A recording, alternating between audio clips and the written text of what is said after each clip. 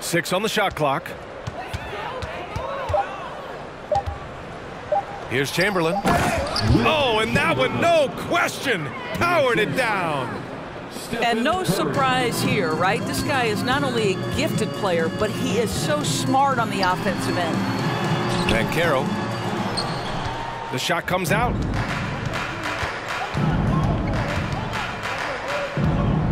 Pass to Chamberlain. Oh, and makes it with the kiss. The scoring is coming easy for him. Got to keep the ball in his hands. That's the end of the game.